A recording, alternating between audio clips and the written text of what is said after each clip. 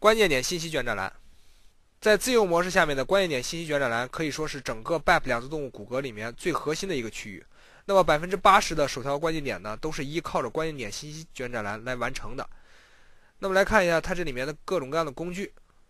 那么首先呢是第一个工具，这个叫做设置关键点，咱们在之前也已经用过了。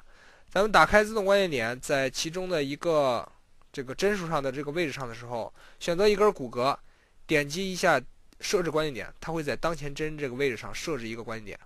那么你把这个关键点设置了，如果说不想要的话，就点击第二个按钮，这个叫做删除关键点，啊，删除关键点。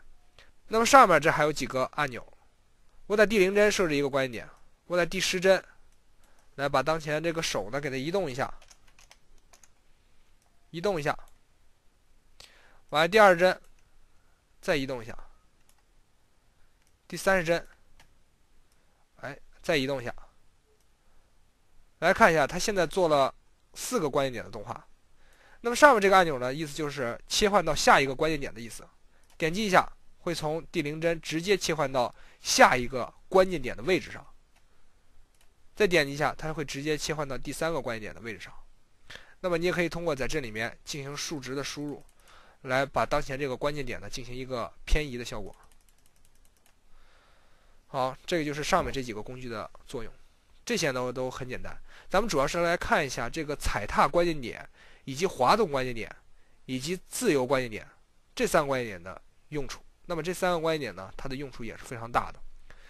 首先来看一下踩踏关键点，咱把所有的关键点给它删除掉，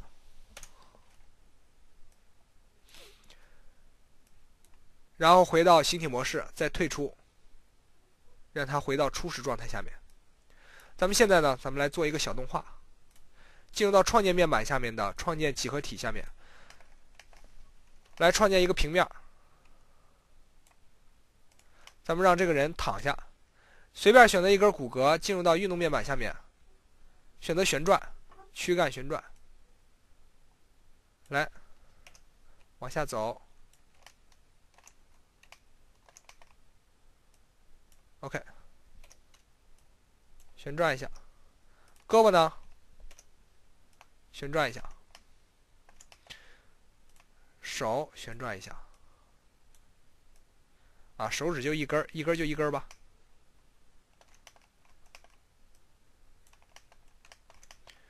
腿旋转一下，置心点往下移动一点，让手呢扶到这个平面上面。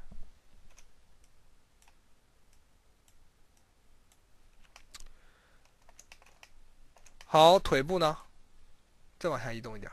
我现在做的呀，都是初始的这种这种姿态。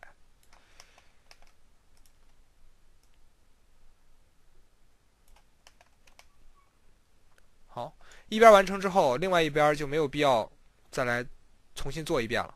咱们直接进入到这个复制粘贴卷展栏里面，给它创建一个集合，双击当前的腿部，复制粘贴到镜像。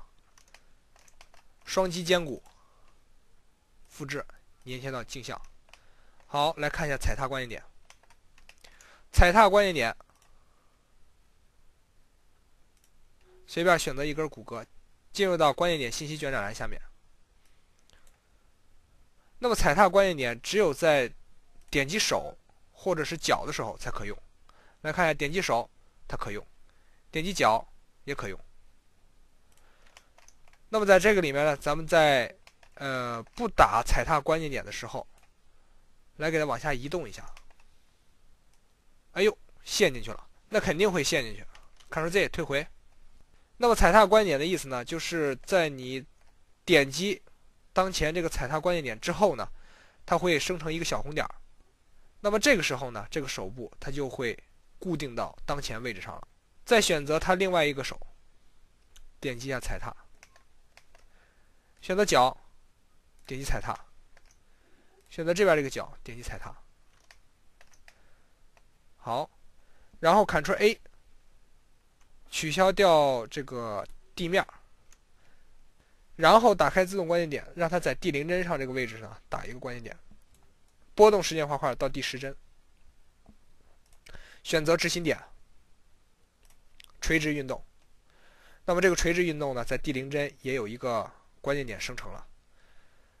好，咱们是要做一个俯卧撑的效果啊。那么这个时候呢，大家就会看到，当前的手和脚呢，在打完踩踏关键点之后呢，就不会因为垂直移动置心点而导致说这个手脚都会插到地面以下，它们呢已经被牢牢的固定到当前的位置上面。然后再按住 Shift 将第零帧呢复制到第二十帧，选择中这三帧，再次复制，再次复制，再次复制。再次复制，好，这时候再看一下，来播放一下动画，哎，这个人呢就在拼命的做俯卧撑，这个动画呢咱们就完成了，咱们只是利用了踩踏关键点，来完成了一个这样的一个小动画。